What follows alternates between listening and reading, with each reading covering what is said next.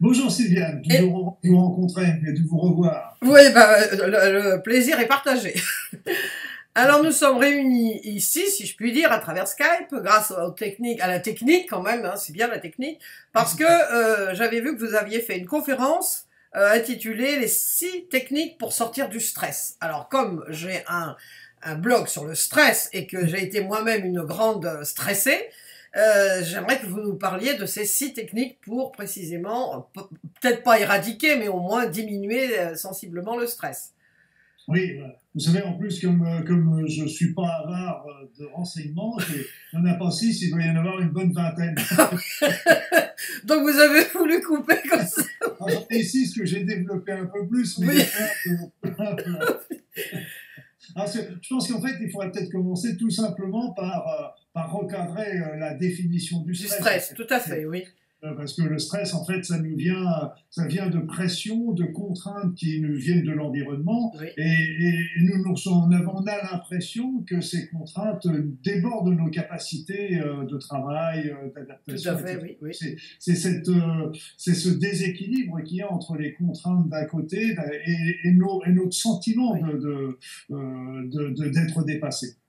Alors c'est pour ça que après ça on se retrouve avec les trois les trois fameuses phases. La phase d'attaque la phase d'alarme. On a on a le stress qui nous arrive. Après ça donc on fait face c'est la deuxième phase. Et puis après ça à force si ça se maintient cette situation là eh bien c'est il y a l'effondrement l'épuisement le burn-out. Donc c'est vraiment les trois phases. Donc l'idée c'est vraiment de travailler sur la première ou à défaut la deuxième mais il faut vraiment commencer tout de suite.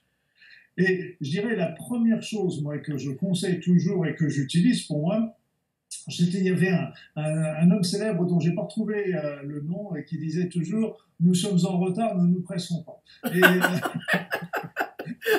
oui, oui c'est logique dans le fond.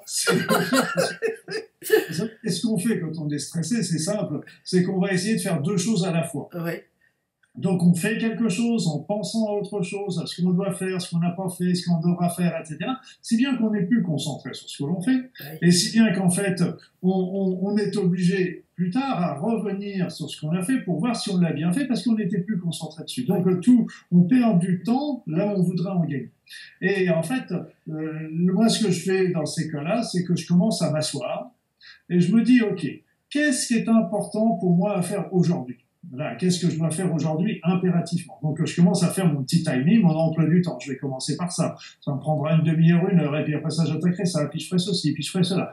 Et puis ben, je me dis, si à la fin de la journée j'ai encore un petit peu de temps, eh bien je prendrai, je m'avancerai pour le lendemain et pour le surlendemain c'est surtout déjà organiser son temps. Parce que quand on a organisé son temps, là, à ce moment-là, on n'est plus dans le stress, c'est-à-dire qu'on n'est plus sans arrêt en train de faire quelque chose en pensant à autre chose. Parce qu'on sait que on a déjà tout planifié. Et ça, ça libère la tête et ça permet d'être ici maintenant, d'être présent. Oui, dans l'instant présent, quoi d'être présent, parce que dès qu'on est dans l'instant présent, là, d'un seul coup, on est concentré, on est bien, et là, on est efficace. Et si on est efficace, ça gagne du temps, et donc à ce moment-là, et c'est toujours c'est le, le, problème du stress, c'est quand on veut faire deux choses ou trois choses à la fois. Ça, c'est le c'est le piège, on tombe tous dedans, et, euh, et là, c'est là que c'est là qu'on qu'on s'épuise. Voilà. Donc la première chose, s'organiser s'organiser, prendre, prendre les quelques minutes simplement pour s'organiser. Vaut mieux terminer deux, deux, trois minutes plus tard, mais avoir le temps de s'organiser au départ. Après ça, bon, on sait très bien qu'il y a des petits remèdes hein, qui, sont, qui sont tout simples. Moi, je, je, je travaillais beaucoup avec l'homéopathie, euh, qui n'a pas besoin de, de l'ignacia amera, de, de, de par exemple. Oui, oui, oui. Il y a les fleurs du docteur Bach aussi qui sont remarquables avec, euh, avec le Rescue, avec la star de Bethléem. Après ça aussi, ce qui est important aussi à comprendre, c'est que euh, il y a des plantes comme la valériane, l'aubépine, etc. Et ce qui est super important à bien ne pas jamais oublier dans le stress, c'est que on a un cercle vicieux du stress. C'est-à-dire que plus on est stressé, plus on va consommer notre magnésium. Plus on va consommer notre magnésium, plus le magnésium baisse, plus le magnésium baisse et plus on est stressé. Donc là, c'est super important dans tous les cas de stress de prendre du magnésium parce qu'autrement, c'est la cercle infernale qui va, qui va aller vers. D'accord. c'est vraiment super important. Alors, et moi, ce que je préconise surtout, c'est les magnésiums sous forme d'oligo-éléments qui sont vraiment euh, les plus les mieux tolérés pour l'organisme, pour les intestins, etc. Sous forme d'oligo-éléments, donc. Oligo-éléments, donc il y a plusieurs marques qui sont là. Je suis pas là pour faire du, de, de, la publicité, mais on trouve ça sans problème parce qu'il faut faire attention qu'il y a du magnésium qui peut être aussi agressif. Il y a des personnes qui, comme le chlorure de magnésium, par exemple, qui est, qui est différent. C'est pas, c'est pas la même chose. Hein. Mais le chlorure de magnésium qui, qui, lui est très irritant pour les intestins. Donc il faut, ah. faire, faut prendre des choses qui soient, qui soient bien tolérées. Mais comment on peut savoir alors? Si c'est du bon magnésium? En prenant des oligo-éléments de. Ah, des oligo-éléments, ok, d'accord. On est sûr. On est sûr, d'accord. Alors, euh, après ça, donc là aussi, il y a, le, il y a des, des oméga 3 aussi qui ont montré leur efficacité aussi dans ce genre de, de, choses. Et on se retrouve également avec des, avec des oligo-éléments, d'autres oligo-éléments comme les oligo-éléments de lithium, qui sont aussi importants, mais je parle bien en oligo-éléments. En oligo-éléments, d'accord. Et puis après ça, il y a des huiles essentielles. Il y en a une que j'adore, moi, c'est toujours la lavande, parce que je, je suis dans le sud comme ah bah. Et, donc la lavande, c'est une belle odeur. Et, ah, ah oui et ça permet de dormir, ça permet de se détendre, ça permet. Donc il y en a plein d'autres huiles essentielles, mais celle-là, je l'aime bien, je l'affectionne. Voilà. Et ça sent bon. Voilà, c'est un petit peu le cadre général. Hein. Voilà. Après ça, dans les six techniques proprement dites, proprement dites, il y en avait, il y en a déjà une qui est, qui est toute simple. C'est la technique d'automassage des petits automassages que l'on peut faire. Alors ces automassages sont souvent, il y en a déjà deux points qui sont situés, vous voyez, il y a les mamelons et on va juste à la verticale des mamelons, hein, entre, le, entre le, la clavicule et le mamelon, à peu près à mi-distance, il, il, y a un point. Et souvent quand on est stressé, on sent ce point un peu sensible, un peu douloureux. Donc ça, c'est un point intéressant à masser. Les deux Les deux Les deux. Après ça, on peut travailler sur le, le creux du, le creux, euh, du plexus solaire. Ouais. Et, il y en a un surtout, alors encore, qui est encore plus fort, là encore, il faut aller regarder au niveau du sternum. Il y a souvent un point qui est très douloureux là. Ça, il peut changer un peu de place selon les personnes. Et ce petit point-là, il y a même des personnes qui vont sentir comme des toutes petites boules à ce niveau-là, des tout, même pas, c'est même pas la taille d'un, c'est une toute, toute petite fine, petite bille, je dirais, toute petite. Et là, il faut masser aussi cette petite bille. Et là, mais tout doucement, faut pas se faire mal. Et là, ça permet au fur et à mesure d'obtenir la détente. Ce sont des petits points réflexes de détente. Une, question, Luc, euh, euh cette petite boule dont vous parlez, euh, on l'a quand on est stressé, on l'a tout le temps.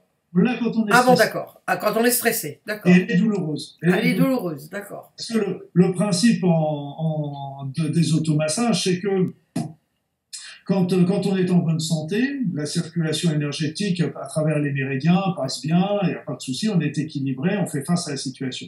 Mais quand on est dans une situation, nous, qui nous perturbe, qui est déséquilibrée, ça veut dire qu'il y a un déblocage énergétique sur le circuit.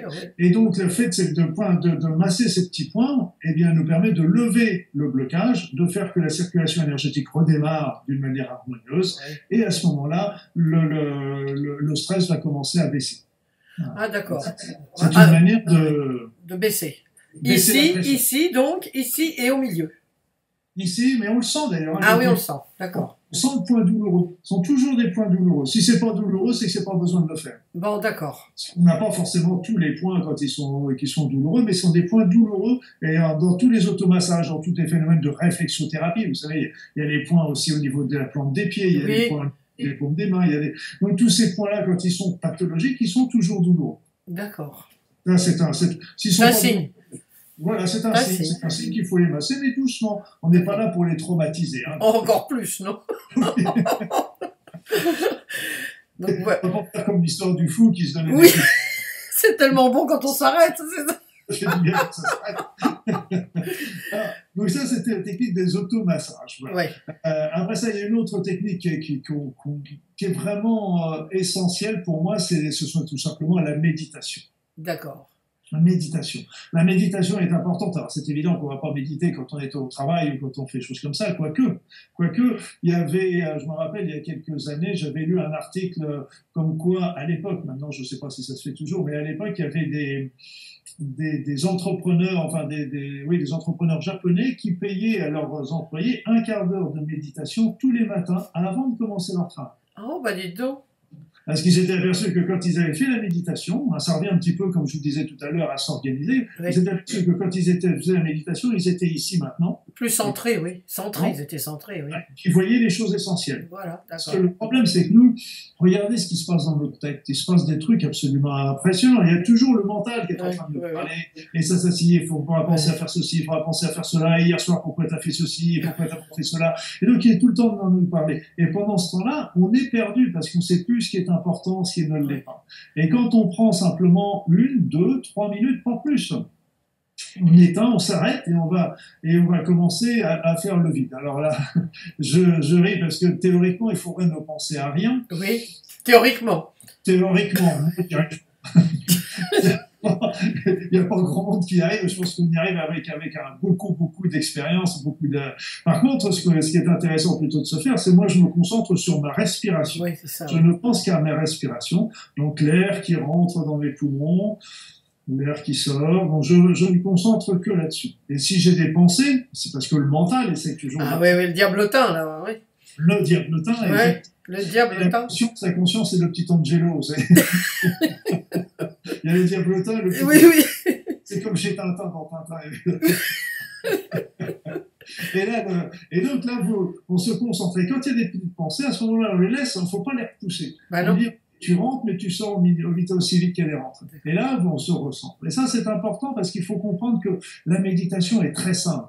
Très simple, parce que évidemment, il n'y a pas besoin de se mettre en, il y a pas, il n'est pas obligatoire de se mettre en position de lotus, d'avoir Oui. les positions des doigts, etc. Pour ça, ce n'est pas obligatoire. Simplement se poser, rentrer dans son corps et se concentrer sur sa respiration.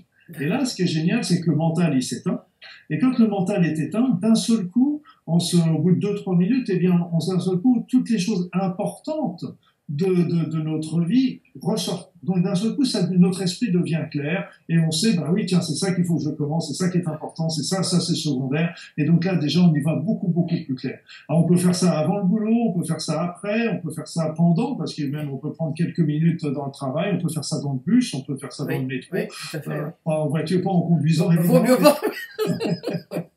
mais bon, voilà, c'est des, c'est des choses qui sont importantes parce que ça permet de replacer. Faut, le problème, c'est que quand on, quand on, quand on est stressé, on n'arrive même pas à voir Oui, euh, bah, qu'il suffit de s'arrêter deux minutes pour faire le point, simplement. Et on ne veut même pas dépenser ces deux minutes parce qu'on a trop... oui, parce que ça, ça vient, ça galope. Voilà, c'est le diablotin qui arrive, c'est le diablotin qui arrive. C'est le diablotin qui arrive. Diablotin, moi, je me rappelle toujours quand j'étais, euh, j'avais travaillé en Nouvelle-Calédonie pendant, pendant plus d'un an. Et euh, je me rappelle tous les Français, tous les métros, comme on l'appelle là-bas, les caldoches, ils sont tout, on est tous à la française, en train de bosser, les horaires pour aller chercher le boulot, pour aller chercher les enfants, tout le monde, et foncé. Et alors, il y avait sur certaines places, il y avait, je me rappelle la place des cocotiers, il y avait une autre place où il y avait beaucoup de verdure, il y avait des, des palmiers, etc. Donc, et puis, il y avait les voitures, les, les grandes places, et les voitures tournaient autour. Et au milieu, qu'est-ce qu'il y avait? Et ce qui était extraordinaire, c'est qu'il y avait les Kanaks qui étaient là, en train de sortir le pique-nique et en train de pique-niquer tranquillement au soleil. En plus, en attendant le champ. Et puis, je disais, Et vous, vous tourniez autour. et tout le monde- puis je disais, au, je disais au métro qui est venu me voir dans mon cabinet, et qui c'est qui a raison? Oui, Et qui eh a oui, raison eh oui, eh oui, eh oui, eh oui, eh oui. Parce que nous, on est comme des imbéciles en train de tourner autour avec notre voiture, de se passer, puis eux, bah, ils attendent le bus qui va arriver dans une heure, donc ils prennent le petit casse-croûte, et puis ça c'est trop mignon ça. Oui, mais c'est vrai, c'est vrai, c'est vrai, c'est vrai. Oui. Mais là, là, je voudrais juste faire une petite parenthèse par rapport au stress, parce que sur mon blog, ce qui, euh, ce qui ressort énormément, j'ai déjà écrit deux trois articles là-dessus, c'est le stress lié au deuil. Ah, Alors, voilà. Alors, si on peut faire juste maintenant une petite parenthèse, qu'est-ce qu'on peut faire dans un cas comme ça? Parce que euh, c'est un stress tout de même un peu euh, différent. Bon, moi, moi-même, je l'ai vécu. Euh, et là, et là, on a vraiment, on peut méditer, on peut, on, a l'impression de suffoquer, quoi. Ah, C'est-à-dire c'est je pense que là encore, la méditation est importante parce qu'il faut faire le point de savoir pourquoi on est stressé. Ouais. Parce que vous savez, quand on perd un être cher, euh, là encore, il n'y a pas de jugement du tout dans ce que je veux Oui. dire, parce que euh, est tous pareils et on n'y a pas de, il n'y a pas de plus malin. Mais ce qu'il y a, c'est qu'il faut faire attention de savoir pourquoi on pleure sur quelqu'un. Parce qu'on peut pleurer sur quelqu'un parce que bah, tout simplement euh, euh, il nous manque. Bah oui, bien sûr, oui. On peut pleurer sur quelqu'un parce qu'il a souffert pour lui et pour la personne. Donc on peut pleurer sur nous. On peut pleurer sur l'autre qui vient de partir. On peut aussi être bah, simplement aussi dans la mouise parce que bah, quand il y a quelqu'un qui part comme ça aussi, il y a tous les papiers, tous les problèmes financiers, tout ça qui tombe. Et ça aussi c'est quelque chose de très dur. Donc euh, si vous voulez, ce qui est important, c'est de faire aussi le point de savoir, ok, qu'est-ce que, parmi tous ces ressentis, quel est le plus important? Celui que j'ai le plus de mal à vivre. Est-ce que c'est la solitude? Est-ce que, est-ce que c'est la manière dont il est parti? Est-ce que c'est euh, la situation que, que, dans laquelle je me trouve aujourd'hui? Pourquoi? Et ça, c'est déjà important, et c'est pour ça que la méditation est importante également, parce que ça nous permet de refaire le point. Refaire le point. Et moi, si vous voulez, c'est un petit peu comme, euh, comme ce que disait euh, Einstein, c'est qu'il disait toujours, on ne peut pas résoudre un problème dans, le même niveau. Donc la seule manière de faire, pour moi, ce que j'ai toujours fait, c'est que c'est d'élever un petit peu notre vision. Et comment qu'on élève la vision? Eh bien, tout simplement, c'est en, en, regardant les choses d'un petit peu plus haut, c'est-à-dire de se dire, qu'est-ce qu'on vient faire sur cette terre? Oui. Oui. Qu'est-ce qu'on vient faire sur cette terre? Qu'est-ce que, Quelle est la raison de notre vie? Pourquoi, pourquoi on est là? Est-ce qu'on est là vraiment pour avoir la plus belle télévision ou la plus belle voiture Ou est-ce qu'il y a quelque chose d'autre? Est-ce qu'il y a quelque chose après la vie? Moi, j'ai beaucoup travaillé avec... Euh, j'ai des, des livres quand, euh, quand euh, je, qui remontent à loin. Maintenant, j'ai eu la joie de rencontrer les auteurs. Euh, C'était le professeur Moody qui m'a... Ah oh, oui, professeur Moody, oui. Avec la vie, la vie après la vie. j'ai eu beaucoup de patients qui m'ont raconté des expériences comme ça, des, des NDE et Ah oui! Ah oui, quand même J'en ai eu beaucoup qui m'ont raconté parce qu'ils ah. savaient que j'allais les écouter, donc ils m'ont raconté ça. Il y avait aussi euh, Monsieur euh, Monsieur Patrick Drouot qui est parlé. Oui, aussi, oui, bien sûr, oui. Euh, nous sommes tous immortels. Oui. c'est d'un seul coup, euh, j'ai senti au travers, euh, puis j'ai eu des expériences aussi moi, de, de, de, remonter dans des vies antérieures. Je sais pas si c'est des vies antérieures à moi, mais je suis remonté dans des vies en tous les cas. Et, et donc ça permet à ce moment-là, ok, on se dit nos êtres ils sont partis pour moi. C'est comme ça que je raisonne. Moi, les, les, êtres, ils sont partis, ils sont pas morts, ils sont partis sur l'autre rive. Et pour moi, l'autre rive, elle est beaucoup plus belle que notre rive C'est-à-dire, c'est qu'on est dans un, là encore, on sort de la, de la matérialité pour être dans la toute-puissance, dans la toute-conscience, je devrais dire. Donc là, on a vraiment quelque chose. Et pour moi, je suis heureux pour eux. Qu'ils soient partis. Ils sont vraiment, pour moi, comme on dit, dans un monde meilleur. Et euh, par contre, et puis en plus, je suis heureux pour eux parce que quelque part, ils ont fini leur mission. Ils ont fini leur mission sur la Terre. Et puis ben, nous, si on est resté là, eh bien c'est aussi parce qu'on n'a pas fini notre mission et que cette épreuve aussi va nous faire grandir. Tout à fait, oui. Ah, donc il faut aussi accepter euh, un jour ou l'autre, accepter d'une part de laisser partir ces personnes. Oui, oui, oui des fois c'est dur, oui. C'est dur, mais rappelez-vous toujours, c'est que c'est le plus beau cadeau qu'on puisse leur faire. Vrai. Plus beau cadeau, le plus beau cadeau d'amour qu'on peut leur faire, c'est leur dire ok, continue ta vie de l'autre côté. Et eux, souvent, bah, d'ailleurs, j'en parle un petit peu dans mon livre, dans mon prochain livre qui va sortir, Les trois secrets de l'univers. J'en parle de ça. Il y a une expérience comme ça. Et donc, euh, eux aussi, bah, bon, vont, vont nous donner l'autorisation de pouvoir continuer notre vie sans eux. Parce que quand, on a, quand on a perdu un mari ou une femme, bah, il, y a une, il y a une fidélité, c'est sûr, mais je vois, il y a dans les messages qu'on obtient de souvent, bah, on s'aperçoit que le mari ou la femme qui est parti n'est plus, il n'y a plus les mêmes symptômes de jalousie comme on pouvait voir sur la terre. Donc, eux, ils comprennent aussi très bien que, euh, bah, qu'on peut refaire sa vie quand ils sont partis, etc. Et au contraire, ils le souhaitent, tout comme eux, ils ont l'intention de continuer de l'autre c'est pour ça qu'ils sont des, c'est des visions différentes. C'est pour ça qu'il faut prendre le, la distance. Moi, c'est des livres comme ça. Maintenant, il y a les livres du, du, du, docteur Charbonnier qui oui, oui, oui, oui, oui, qui nous montrent. Et c'est des, pour moi, c'est une preuve. Euh,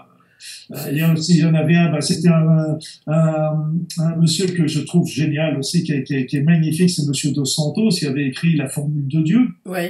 Et c'était un roman, c'est un, c'est un monsieur du Portugal. Oui, oui, oui, oui, oui il, il, parle le français aussi bien que vous et moi, c'est vraiment, il est vraiment quelqu'un de, de, très gentil, et il nous a montré comment la physique quantique nous prouve aussi quelque part que ben, notre corps, euh, notre esprit ne peut pas mourir, avec la mort, il continue, c'est une énergie, donc il va continuer de vivre après. Et puis, euh, en plus, même les notions de Dieu, euh, ben, la notion de Dieu est quelque part euh, prouvée par la physique quantique. Alors, on parle pas de Dieu, on va parler d'une information, d'un grand oui, ADN, d'une information d'origine, mais bon. Oui. Voilà, c'est ça. Selon les, enfin, les croyances de chacun, on lui donne le nom qu'on veut. Il y a, il y a aussi un, un, un physicien, Erwin Laszlo, vous devez connaître, qui est, euh, oui, je, viens je vais faire bientôt le, euh, enfin, j'ai lu son livre précisément sur euh, ces, ces phénomènes-là. Euh, c'est vraiment, et juste après votre interview, j'ai interviewé Jocelyn Morisson qui vient de sortir un livre, Les expériences de mort imminente. Donc mm. c'est l'interview juste qui sortira juste après la vôtre.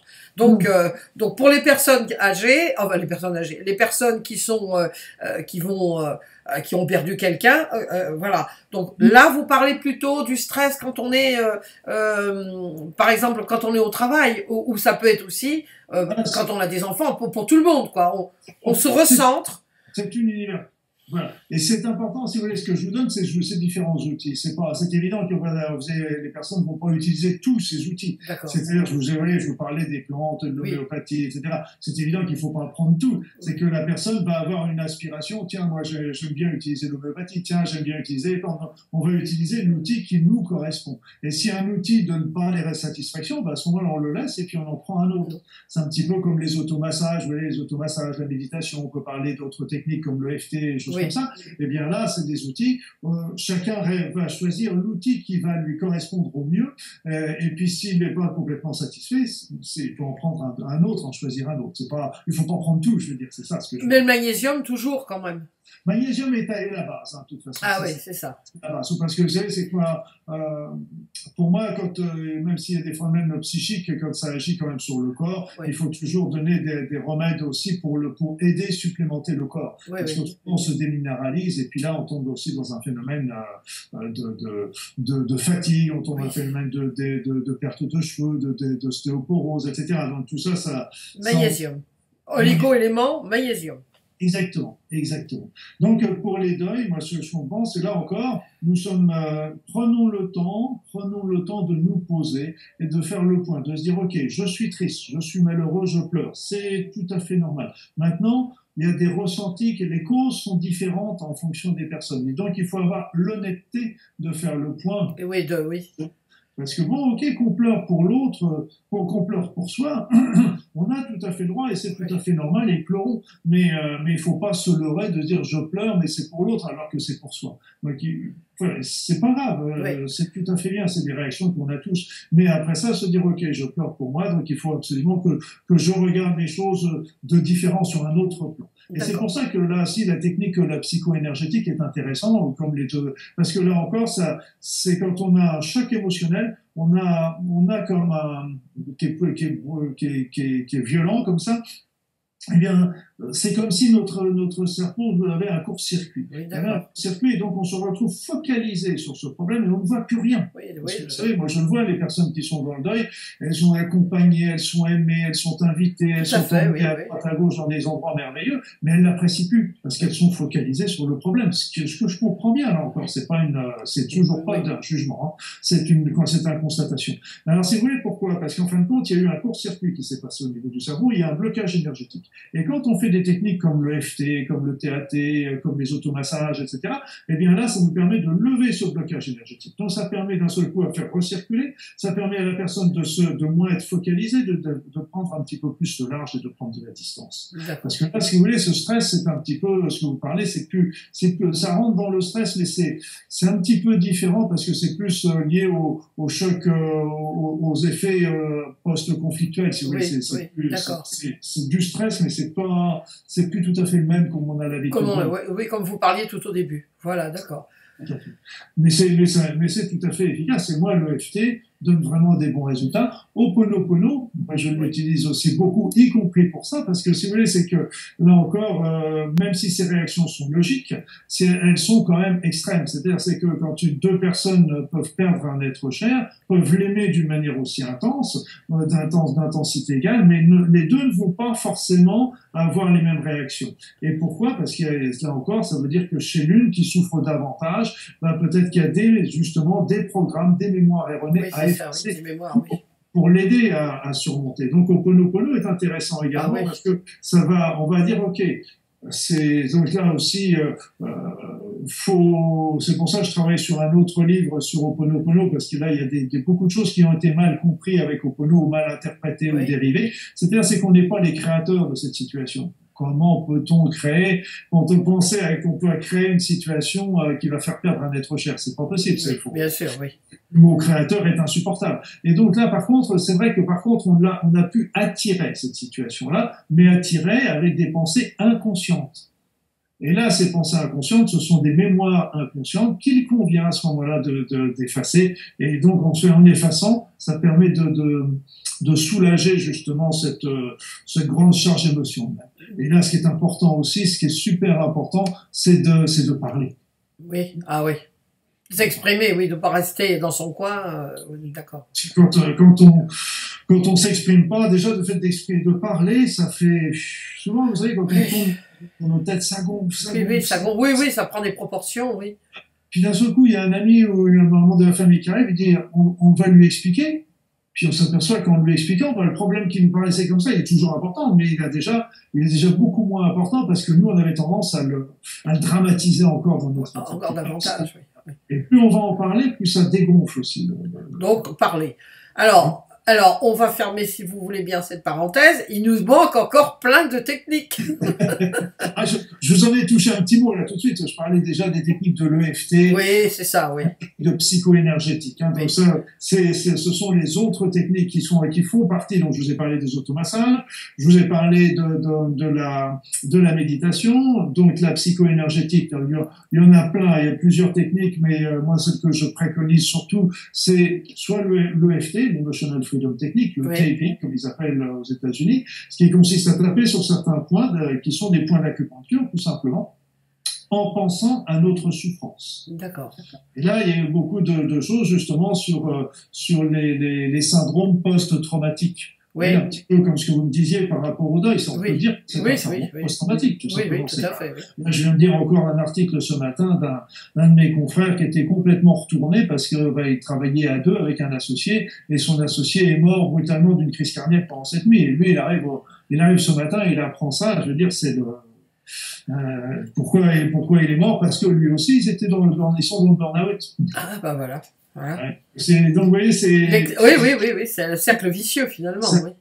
Donc c'est pour ça que le FT, on a, on, a, on a fait des études comme ça, même sur les, sur les soldats qui sont revenus de la guerre, Golfe du Golfe, etc. Là, eh bien, on s'est aperçu que ça permettait beaucoup de calmer, de faire disparaître ça. Donc il y a le FT et il y a le TAT qui consiste à positionner ses doigts, ses mains et à faire des affirmations également, tout en se concentrant sur la, sur la souffrance que l'on a. Et là, c'est le même principe, c'est qu'on va taper, on, on agit sur certains points d'acupuncture. Et en agissant sur ces points d'acupuncture, ça va permettre de, de libérer les méridiens. Donc le méridien, les circulations énergétiques reprend, et puis à ce moment-là, euh, tout, tout, la personne peut reprendre un petit peu, euh, peut, va, redevenir le raisonnement, Ouais.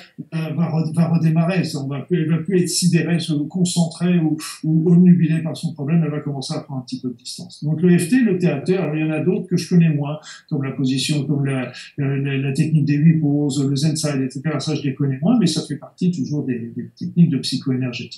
Ouais. Voilà. Après ça, l'autre, je vous en avais, il y a les soins énergétiques, les soins énergétiques qui sont aussi très intéressants. Là, on peut aller voir un- un- un- une personne qui, qui pratique ça, ou alors apprendre à le faire, parce que j'écris, vous savez, j'ai écrit des bouquins Oui. sur euh, ça, et j'ai écrit des livres avec euh, les techniques. Hein, je les décris en détail, donc quelqu'un qui, qui touche un petit peu sur l'énergie, il va, il va déjà très bien s'en débrouiller. Alors on a retrouvé, on retrouve sur le corps des blocages, et, et ces blocages correspondent aux chocs émotionnels les plus puissants de la personne dans sa vie.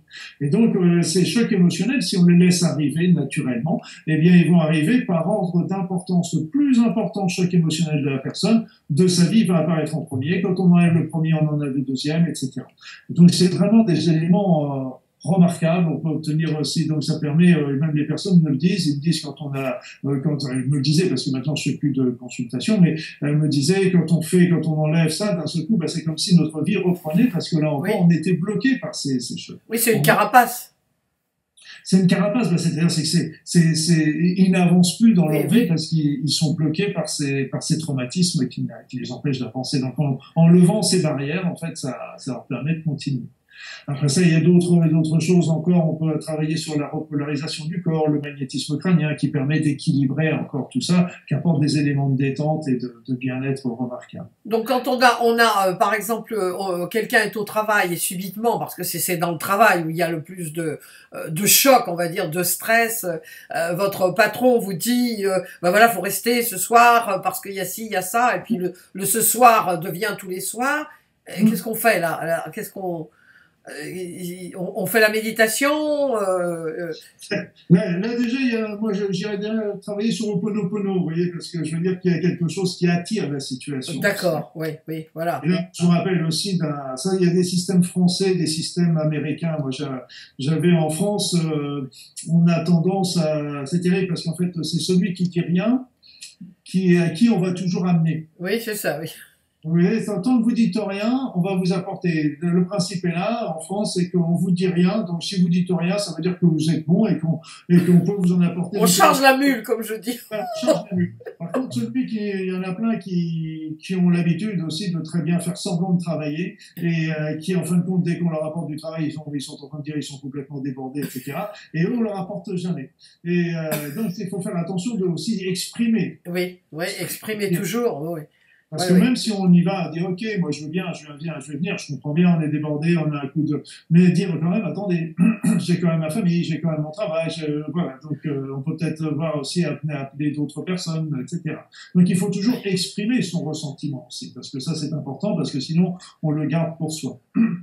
Et là, c'est un, parce que j'avais un ami qui travaillait comme ça dans une grande entreprise française, et eh bien, c'est le principe, il travaillait des heures qui n'étaient pas possibles, ils arrivaient comme ça, et le voilà arrivé euh, dans cette même grande entreprise aux États-Unis.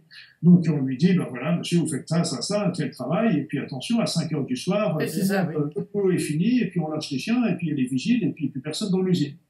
Donc, lui, il faisait son travail, le travail qu'il a fait, puis il, est au bout d'une semaine, quinze jours, un mois, il dit, euh, il avait l'impression de, par rapport à ce qu'il faisait en France, de ne rien faire. Et, donc, il va voir, il va voir son, patron, enfin son, son, chef, et puis il dit, mais est-ce que vous êtes content de mon travail, ça va bien, etc. Il dit, ben oui, c'est bien, tu fais ce qu'on t'a dit, il n'y a pas de problème. Et donc, à ce moment-là, euh, voilà, chacun a son travail bien déterminé, et donc là, à ce moment-là, chacun le fait et ça ne pose pas de souci. L'autre phénomène aussi qu'ils ont aux États-Unis, qui n'est pas un modèle partout, mais c'est intéressant quand même de noter pour ça, parce que c'est important, c'est que dès qu'il y a un problème, on se réunit, on en parle. Ah, d'accord. En France, il y a un problème. On le met sur le tapis. Et on le laisse chauffer, ça dure un mois, ça dure deux mois, ça dure trois mois, ça dure quatre mois, les esprits ont tendance à chauffer, c'est bien s'échauffer, des clans commencent à se créer, etc., des tensions se font, et on arrive à des situations inextricables. Ouais. D'en parler dès le départ, voilà, on met les points sur la, on met tout ça sur la table, c'est ce que faisait Oponopono oui, oui. c'était des techniques de réconciliation. Ok, quel est le problème? Qu'est-ce qu'on trouve comme solution? Point barre. Et on fait ça dans le doublet, puis après ça, on peut repartir. C'était toujours c'est des, des, des, des, manières de, de management. C'est intéressant aussi de voir que souvent les, les directeurs femmes sont, ont plus cette notion que les directeurs hommes. Ils sont plus dans la discussion, le dialogue d'emblée plutôt que de laisser mouriner comme ça. Ah oui, d'accord. Tiens donc. Ah, oui, c'est ouais, comme quoi, comme quoi. Donc, euh, donc euh, euh, voilà, quand on a, on, on, est dans une situation de stress, quelle qu'elle soit, au travail ou n'importe où ailleurs. Euh, bon, moi, moi, j'aime bien aussi la phrase du Dalai Lama. Euh, vous savez, euh, si le problème a une solution, pourquoi vous stressez? S'il n'en a pas, pourquoi stresser aussi? Vous voyez, là, moi, je trouve, c'est à, chaque fois, je dis bon, hop, hop, on revient. Mais la méditation est quand même toujours, ah, c'est vraiment le, le, le, centre, on pourrait dire, de, de tout, quoi. Parce qu'en fait, on, on connaît déjà les réponses. Oui. Bien sûr, bien sûr. Parce que pour moi, c'est déjà la base et la, comme je vous le disais, prenons le temps d'organiser de, notre travail, la parole, parce que là encore, vous savez, euh, ne serait-ce que dans le travail, dire, euh, on n'est pas, il n'y a pas besoin de rentrer en conflit. Simplement dire, ok, vous m'apportez du travail, mais vous savez, là, vous me, je suis complètement débordé, de dire, moi, je trouve que c'est injuste, vous m'apportez trop de travail, euh, je trouve qu'il y en a d'autres qui pourraient, qui on pourrait le séparer sur d'autres, etc. On n'est pas en train de dire non, j'en veux pas, etc. C'est dire simplement, ok, d'exprimer. D'exprimer oui. le respect du, de, de, la hiérarchie, mais d'exprimer. Parce que la hiérarchie, même si, euh, bon, y a, si, si elle peut pas, elle ne le changera pas forcément pour cette fois-ci, mais elle l'a entendu. Oui, voilà, c'est ça. Ça changera. Parce que si on ne dit rien, c'est qu'inaudiment qu'on sent. Donc, euh, tout à fait, tout à fait. Moi, ça m'est arrivé une fois où, euh, précisément ce que vous dites, j'étais stressée, stressée, j'en pouvais, je n'en pouvais plus. Et j'avais mon petit garçon, à l'époque, je venais de divorcer, donc j'avais mon petit garçon qui m'attendait euh, chez moi. Et j'arrivais à 10 heures du soir. Et c'était tous les soirs, euh, ça y est, mon patron commençait à s'énerver à 6 heures, 6 heures et demie, 7 heures. Et bon, j'habitais en banlieue parisienne. Bon, euh, vous savez les problèmes qu'il y a toujours euh, en banlieue parisienne. Et un jour, j'ai dit bon, bah c'est fini. Donc c'est aussi un problème d'affirmation. Parce que, voilà, c'est aussi un problème d'affirmation. Oui. Et là encore, on laisse mourir le problème. Et un jour, on dit stop. Voilà. Donc, que dire stop et de casser tout, c'est peut-être d'avertir aussi au départ. Parce oui, que voilà. aussi, quelque part, c'est l'autre a pris, nous a empiété dans notre territoire. Mais si l'autre a empiété dans notre territoire, c'est que nous aussi, on l'a laissé Voilà, c'est ça, c'est ça. Il faut travailler sur les deux côtés. Et là encore, une bonne occasion pour faire Oponopono. Ah, tout à fait. Ah oui. Parce que là encore, Oponopono nous permet de, de, de, faire sauter ces mémoires erronées qui, qui attirent de ce genre de situation. Parce que oui, tout à fait. Parce que Oponopono, maintenant, on, en parle là. Euh, c'est un peu, on déborde un peu là du sujet, mais euh, ça faisait partie des sites techniques. Bon, ah bon, très bien, parce que euh, on, a longuement parlé déjà. On a, je, je, mettrai le lien hein, puisque euh, on en a déjà longuement parlé. Mais euh, je veux dire, euh, Oponopono, il y a des personnes qui le présentaient avant, maintenant de moins en moins, mais qui le présentaient, enfin, ou qui qui ont l'air un peu de rigoler, quoi. oh là là, Oponopono, comme si c'était quelque chose de simpliste. C'est mmh. simple, mais pas simpliste. Et ça, pas simpliste. Et, au contraire, moi, quand j'ai, quand j'ai commencé à étudier, quand j'ai lu les premiers textes américains oui. sur Oponopono, ça remonte, c'était avant, c'est ça qui m'a poussé d'ailleurs à l'écriture du premier livre que j'ai fait, c'est que j'étais en train de lire, regarder les, les, articles de physique quantique qui me disaient, c'est la pensée qui est dans le, qui crée l'univers, qui crée là, c'est notre pensée, l'information, notre pensée qui crée l'univers. Et d'un autre côté, il y avait les, les, les, collègues psychologues et psychiatres qui me disaient c'est notre inconscient qui nous domine, nos pensées inconscientes. Donc on comprend aussi que comme on est dominé surtout par notre inconscient, qui correspond à 90% de, pour si ce n'est plus, donc ces pensées inconscientes dont on n'a pas conscience, j'insiste beaucoup là-dessus, eh bien attirent des situations qui sont désagréables. Mais comme on les crée, comme, comme disait la physique quantique, comme on crée avec notre pensée, ce sont ces pensées inconscientes qui créent, qui attirent euh, ces situations. Et donc là, c'est très, très, parce qu'au contraire, c'est, j'ai trouvé extrêmement puissant parce que c'est, c'est pas simpliste, c'est très à la pointe. Oui, tout à fait, oui. C'est très à la pointe. Alors, le, le, le dommage, c'est qu'il y a des, des incompréhensions ou des mal, mal, mauvaises compréhensions qui se sont faites du genre, bah, comme je vous ai dit, on n'est pas les créateurs, on est les attracteurs, on attire, c'est un peu, d'ailleurs, ça revient exactement à ce que dit la physique quantique. La physique quantique, elle dit notre présent, notre monde, c'est un monde, c'est un champ, un vaste champ de potentiel. Oui, c'est ça, oui potentiel. Et nous, notre pensée va prendre un potentiel et va l'attirer à elle. Voilà, c'est tout. C'est pas. Donc ça correspond tout à fait à ce que dit la physique quantique. Et si, et si ce potentiel ne nous plaît pas, eh bien, il suffit de changer notre pensée. Tout à fait. C'est la pensée, oui, toujours. qui l'a attiré, puis on va en attirer une autre. C'est très simple, mais c'est très puissant parce que, puissant, en fin de compte, la, les, les, physiciens quantiques, là encore, nous le disent bien, ils ont commencé à travailler sur la matière, ils sont tombés sur l'énergie. Ils ont commencé à travailler beaucoup sur l'énergie, ils sont tombés sur l'information. Oui, le fameux champ, oui. Voilà, donc ça revient un petit peu à l'information primordiale dont on parlait un petit peu tout à l'heure. Et l'information, qu'est-ce que c'est? Ben, C'est notre pensée. Et, tout est là. Hein. Et tout est là, c'est le diablotin hein, tout le temps qui, qui est... Euh, le diablotin conscient. Parce qu'il y a aussi il y a le gros diable inconscient. c'est surtout le diablotin inconscient qui est là. Et puis après ça, c'est vrai, même dans notre conscience, on est tellement pris par notre, par notre société moderne qui, qui, qui, nous, qui nous donne des... Parce que là, en plus, on, on confond, beaucoup de personnes confondent plaisir et bonheur. Et là encore, c'est important parce que ben, on achète une télévision, ok, on a un plaisir. Mais euh, par contre, le, ce n'est pas ça le bonheur. Vous voyez, c'est que dans le travail, moi je disais, euh, je disais, là, on faisait un symposium là ce week-end, et puis je leur disais, mais de toute façon, rappelez-vous que quand on aime son boulot, eh bien, ça veut dire qu'on est en vacances toute l'année. Tout à fait. Ah, ça, je suis d'accord avec vous, oui. Tout à fait. moi, j'ai la chance d'avoir, euh, si vous voulez, au fur et à mesure, j'ai, j'ai, évolué, j'ai changé. Il y a eu des sacrifices, il y a eu des passages qui ont été difficiles parce qu'il a fallu lâcher certaines choses pour en faire d'autres. C'est pas, c'est, c'est jamais simple. Mais d'un autre côté, ben, je suis là où je suis aujourd'hui, ben, j'en suis très heureux. Je suis très content parce que ben, je fais euh, plus ce que j'ai envie de faire. j'ai l'occasion de voyager en travaillant. en vous amusant, finalement, vous vous amusez tout le temps. Ah, mais moi, je suis très heureux. je suis très heureux. Oui, je m'amuse tout le temps. Je m'amuse en écrivant. Je me plais en écrivant. Je suis bien en écrivant. Je suis bien quand je fais des conférences. Je suis bien quand je fais des stages, même s'ils sont des, des, phénomènes qui sont épuisants parce que ça. Oui, ça épuise les conférences et les stages. Mais d'un autre côté, je suis, je suis très très bien. Donc c'est pour ça que là encore, euh, il y en avait, il y en avait un qui disait que de toute façon, quand on est sur sa route, c'est pas compliqué. Quand on est sur sa route, c'est qu'on est heureux. Oui, voilà. Donc, si on est heureux, c'est pas compliqué. Déjà, il y a après le stress, il n'y en a pratiquement plus. Non, euh, tout à fait, oui, oui. Si on n'est pas heureux, ça veut dire qu'il y a quelque chose à changer. Oui. Voilà. Donc après ça, alors on n'est pas obligé de le changer du jour au lendemain, mais ça veut dire qu'il faut bien prendre conscience que si nous ne sommes pas heureux, c'est qu'on n'est pas sur notre route, et donc il faut réfléchir à justement qu'est-ce qu'il faut, qu'est-ce qu'il faut changer. Qu'est-ce qu'il faut rectifier, oui. Il faut rectifier. on a pu être heureux d'une situation pendant un temps, et puis après ça, on change, on évolue. Oui, tout à fait. Ben, on évolue, et donc euh, il faut recadrer, comme je dis là, il faut recadrer, et puis euh, voilà. Ça, c'est très important parce que j'avais, il y a aussi un, un monsieur que j'affectionne particulièrement, c'était le docteur Bach, qui est ah, oui, qui a fait les petites fleurs de Oui, les petites fleurs, oui, oui. Pour moi, elles sont remarquables. Et lui, il disait, nous tombons malades lorsque nos actions dans le monde présent, dans le monde matériel, dans le monde quotidien, ne sont pas en adéquation avec nos aspirations profondes. Ah oui, tout à fait, oui. Et là, c'est profond, ça. Oui, résumer la situation. Oui, oui, oui, oui, tout à fait. Oui, oui. on est, on est, euh, euh, bah c'est, euh, les Chinois, enfin la médecine chinoise, vous ne payez votre médecin que lorsque vous êtes en bonne santé. Eh oui, eh oui, eh oui. Bah, il faut voir le médecin régulièrement quand on n'est pas malade pour éviter d'être de tomber malade. Voilà. Autre. Une médecine préventive. Ah non, mais c'est extraordinaire. Hein.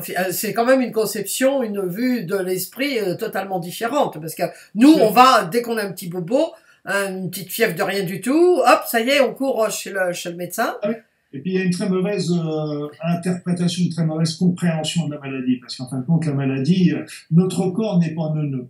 Pour moi, le corps, il est magnifique. Et si le corps euh, de, temps, euh, de temps en temps, il est débordé, c'est vrai, mais c'est des situations extrêmes, euh, c'est-à-dire c'est des situations, les gens qui sont sous chimiothérapie, immunosuppresseurs, ou dans les grandes déminéralisations, les grandes dénutritions, ou choses comme ça. D'accord, là, là, le corps va être débordé parce qu'il est épuisé. Mais d'un autre côté, dans, la, dans, dans 95 ou 99% des cas, le corps, il est en bonne santé, il est équilibré. Et donc, quand on tombe malade, c'est qu'il y a une bonne raison pour qu'il tombe malade. Ah, oui. Qu'il a laissé passer ça. Et donc pour là, il y a, il y a et la raison, elle est en tant par exemple, vous avez une personne qui a mal au genou, eh bien ok, il a mal au genou peut-être parce qu'il a trop forcé sur son genou, porté, etc. Ok, ça c'est vrai, c'est sur le plan physique, c'est tout à fait juste. Mais sur le plan psychologique, le, le plan symbolique, il y a toujours un plan symbolique. Ça veut dire qu'il y a quelque chose dans sa vie où il ne veut pas plier. Tout à fait, oui, oui, le genou, oui. Voilà, donc s'il veut pas, s'il n'entend pas les deux et nous, en médecine conventionnelle, on est en train de reparler du, premier. On ne parle jamais du deuxième. Jamais du deuxième, oui. C'est pas connu, hein, tout simplement. C'est pas connu, c'est pas reconnu. Donc, euh, pourtant, c'est là la base. Et si cette personne ne comprend pas qu'il est important de, de, de, de, plier dans certaines situations, d'être peut-être plus conciliant, de faire plus oui. etc., eh bien, le problème reviendra. Et, et ça, et c'est pour ça que on a du mal pour les, avec les patients également, parce que comme, euh, comme ils sont tout, le monde est formaté sur le premier plan, et beaucoup de mal de personnes ont du mal à entendre que, et c'est pour ça que de temps en temps, c'est, on voit, faut voir les gens qui font des, des grandes maladies, ceux qui s'en sortent. Eh bien, ils nous le racontent bien. Ils sont, ils ont fait un grand travail sur eux et pour une grande compréhension du sens de leur maladie. Oui, la, la symbolique. Oui, parce que c'est euh, moi je dis souvent, enfin quand j'avais des personnes en thérapie, je leur disais toujours, euh, le corps c'est le dernier recours il est en train de vous parler, mais écoutez votre corps. D'ailleurs, il faut toujours écouter votre corps en intuition pour tout. On l'écoute pas assez. On, le, on, le, on, on, le, on, le, on le vénère parce que il faut paraître jeune. Euh, euh, on le vaut bien. Hein, vous voyez tout de suite à qui je à la publicité, euh, parce que vous le valez bien. Mais on ne parle pas vraiment de, de, de du corps par lui-même, de la beauté du corps, parce que c'est, on a quand même, il est, il supporte pas mal hein, pendant toute une vie notre corps, hein, toutes les, les agressions et il nous tient et tout. Et effectivement, euh, quand on a la, chance de, de, de, comprendre que si on a une maladie, eh bien, euh, c'est parfois mal à dit, mal à dit, hein, et, ou non dit, tout ça, eh bien, on, on a fait un, un grand pas. Et, et c'est toujours un plaisir, Luc, de, de, parler avec vous. Moi, je parlerai des heures. Je suis contente que vous ayez deux livres qui, qui vont, enfin, un livre qui va sortir dans très peu de temps, hein, vous m'avez dit, et puis le deuxième qui va sortir en septembre-octobre. Donc, euh, de nouveau. Non, le nouveau, le nouveau, le nouvel Oponopono, parce qu'il faut aller plus loin plus loin encore, parce que euh, je, je, redresse un petit peu la barre sur euh, sur un certain nombre de choses qui ont été qui ont été dérivées, qui, oui, risquent d'affaiblir euh, l'efficacité d'Oponopono, parce que là il y, a, des choses qu'il faut qu'il faut remettre un petit peu recadrer, et puis après ça, c'est pas que Oponopono ne doit pas évoluer, il évolue, il évolue comme toute chose, et justement je vais montrer comment on peut faire évoluer Oponopono, mais il y a des choses importantes à ne pas oublier pour que cette pour que cette technique reste toute puissante. Toute puissante, voilà. Eh bien, écoutez, Luc, je vous remercie infiniment, encore une fois. Je vous dis, c'est toujours un plaisir, un immense plaisir de parler avec vous. Et, et, et, et je sais que les, les, personnes qui nous voient, euh, il y a eu, euh, euh, enfin, il y a souvent des commentaires en disant, mon Dieu, comme cette personne est intéressante. C'était récemment, là, quelqu'un qui disait, ah, comme cet homme est intéressant. Donc, j'en suis, j'en suis fort heureux. Ben, écoutez, euh, oui, parce que c'est plaisant tout de même de, de, de, faire des interviews et puis que les personnes apprécient. Et je sais qu'à chaque fois que je mets une, une interview de vous, c'est, c'est vraiment toujours euh, un énorme plaisir, et pour moi, et pour mes lecteurs. Donc, euh, encore une fois, merci, Luc. Et puis, ben, je vous donne rendez-vous pour le prochain livre. Exactement, parce que vous savez, ce qu'il faut comprendre, c'est que mon, mon travail, entre guillemets, je vous ai dit mon plaisir, mon plaisir. mon plaisir est de transmettre, justement, et de transmettre des outils pour que chacun puisse devenir le plus autonome possible. Et c'est ça qui me paraît le plus important dans notre société actuelle où, où beaucoup de personnes souffrent, en fait. Oui, et ben, c'est, et, et c'est pour ça aussi que les, les, personnes aiment ce que vous faites, parce qu'on sent euh, votre rôle de... Vous transmettez et vous aimez transmettre. Voilà, vous gardez pas les, les petites choses non. pour vous. Non, non, vous, voilà, vous êtes. Euh... Voilà, ben c'est comme ça que quand on donne, eh bien, on fait le vide, et quand on fait le vide, ben on reçoit d'autres choses. On reçoit d'autres choses, tout à fait. Eh bien, écoutez, euh, euh, merci encore une fois, et puis euh, bah, rendez-vous dans très très peu de temps hein, pour le pour le livre. Donc à tout de suite. Donc à tout... Au revoir, Luc. Au revoir, merci Sylviane. Au revoir.